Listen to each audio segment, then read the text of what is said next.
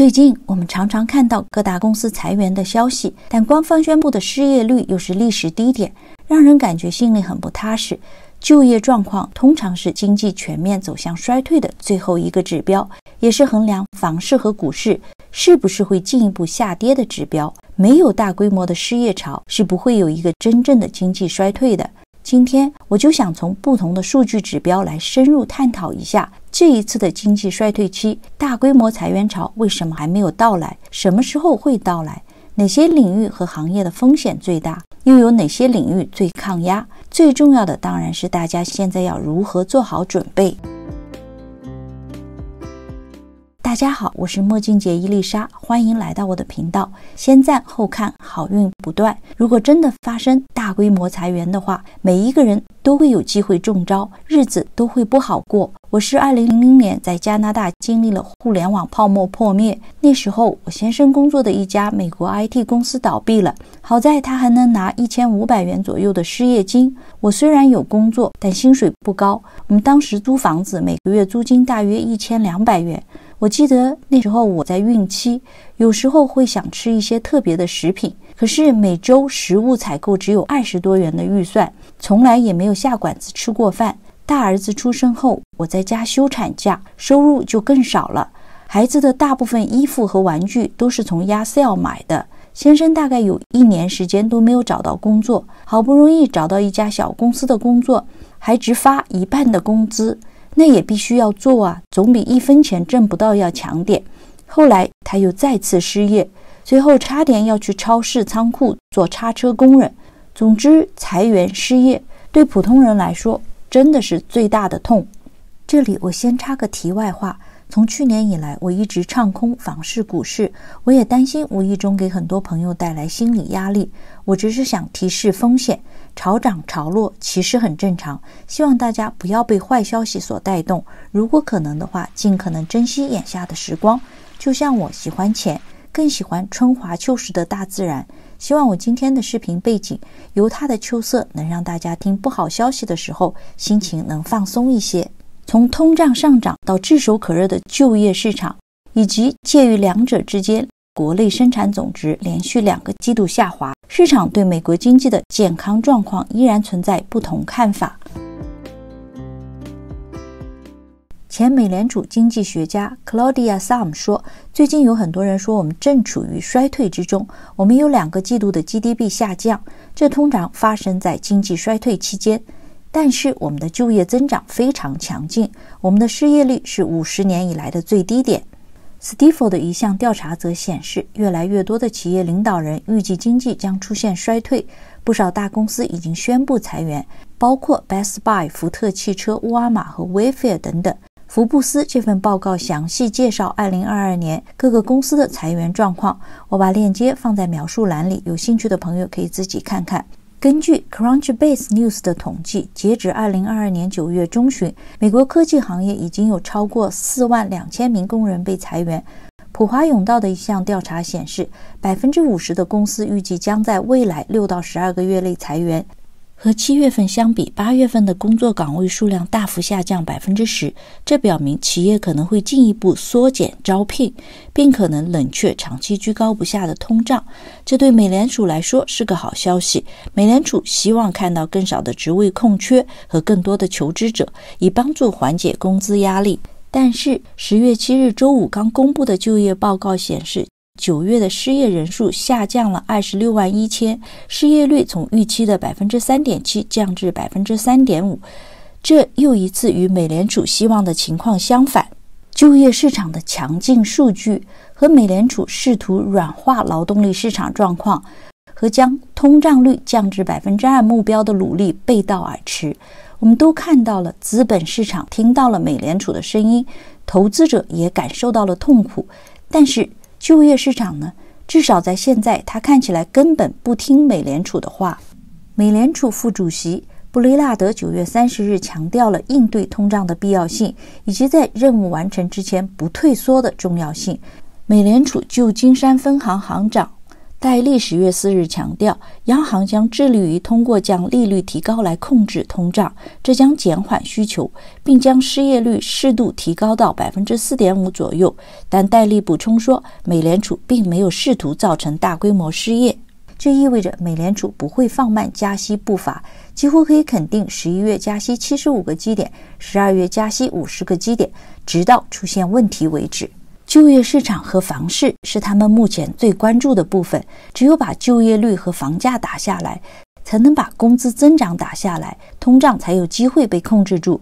也就是就业市场必须要放缓。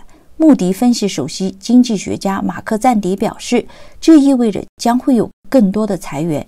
你需要警惕这一点。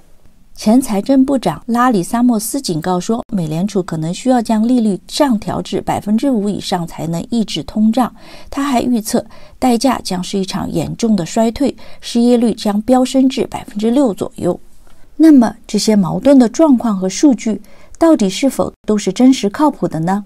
我们要如何理解这一混乱现状呢？关于就业报告的数据都是公开的，关键是我们要如何正确的看待这些数据。那么，我们就先来看看失业率是什么样的情况。美国劳工统计局每月跟踪失业和就业情况，当前的失业率更多的揭示了整体经济状况以及对普通美国人财务状况的影响。例如，一九二九年大萧条时期，失业率为百分之十四至百分之二十四点八。除了大萧条之外，唯一一个失业率超过百分之十的年份是一九八二年，当时为百分之十点八。由于病毒大流行，失业率在二零二零年四月达到了百分之十四点八，但到年底已经降至百分之六点七。失业被分成几种不同的类型，摩擦性失业是自愿离职的原因。如果你辞掉一份你现在的工作，以便获得更好的工作时，就属于摩擦性失业。这个一般都是短期失业。对经济不会造成影响。还有一种叫结构性失业，比如说你本来具备的工作技能，现在已经找不到任何的工作了，这类失业会导致长期失业。周期性失业是媒体现在讨论最多的类型，它在商业周期的收缩阶段急剧上升。当失业率上升时，衰退已经开始，因为它是一个滞后指标。公司一般会等到确定需求不会恢复到以前的水平后才会裁员。接下来，让我们看看目前的劳动力市场数据的同步指标是如何获得的，然后我们再看看领先指标，去了解为什么接下来可能会出现裁员，以及为什么这将正式宣布美国将进入衰退。同步指标是流行的计算方法，显示特定领域内经济活动同期状态的指标。这个指标很重要，包括就业、实际收入和国内生产总值。这个指标是衡量目前经济中发生事件的可靠指标，但因为它们涉及的数据通常都是滞后的，并不能告诉我们未来到底会怎么样。美国劳工统计局在每个月的第一个星期五发布当月的就业报告。就业报告是最全面和最重要的经济报告之一，也是最早提供前一个月数据的报告。就业报告通常由两种来源的调查构成。我们通过媒体报道看到的是机构调查，也叫工资调查。机构调查主要是通过调查美国有代表性的大企业。使用出生死亡模型来调查更广泛的经济趋势，这个调查非常流行，是大部分媒体报道中喜欢采用的数据指标。这个数据还有一个姐妹系列是家庭调查，是对家庭成员进行的调查，所以它会计算人数以及他们是否有工作。这两个调查的最大不同之处是，他们是如何计算一个人同时拥有不同的工作。家庭调查最近发现的一个趋势是，拥有多个工作的人数在增加。如果一个人出于经济原因从事第二份工作或第三份工作，在家庭调查中被视为一个全职工作；但是在机构调查中，三份兼职工作被算作三份工作，重复计算的可能性很大。这两种调查都存在一些不合理的地方，比如你工作一个小时，也意味着你被雇佣了。如果你只是在 Jobber 或 Monster 上或在招聘广告中寻找职位空缺，并不算找工作。你只有开始进行实际面试或发送简历才算找工作。这些调查数据中存在的问题，人为的降低了失业率，增加了全职就业，并人为的增加了每月的就业报告中的就业人数。如果比较这两种调查的话，我们会发现就业市场并不像我们开始看到的那样强劲。假设这两项调查都是正确的，那么可以解释为自三月以来就业人数的增长是由于大约一百六十万人从事了额外的兼职工作。唯一的其他的解释是其中一项调查完全错误。劳动力市场存在潜在裂缝的另一个迹象是全职工作数量的下降和兼职就业的急剧上升。劳动力需求减弱还有另外一个反应，那就是员工的工作时长。这是一个非常可靠的领先指标。通常我们可以得到八年的劳工工作时长的数据，让我们可以看到就业增长的转折点。想想看，如果你是一个企业老板，现在面临经济放缓的前景，但你不确认这种放缓是暂时的还是长期的，你可能不想现在炒掉一个员工，之后又要花钱请他们回来。对你来说，减少员工工作时长是不是更容易做到的事呢？我们现在看到的是，尽管九月份就业人数增长情况良好，但每周工作时间再次减少。截至九月份的六个月中，有四个月持平或下降到三十四点五小时，和二零二零年四月以来的最低数字并列。从目前的这些数据看，这一次的裁员可能会更像我之前提到的我所经历过的二零零零年的互联网泡沫。那接下来我们就来看看哪些人风险最大。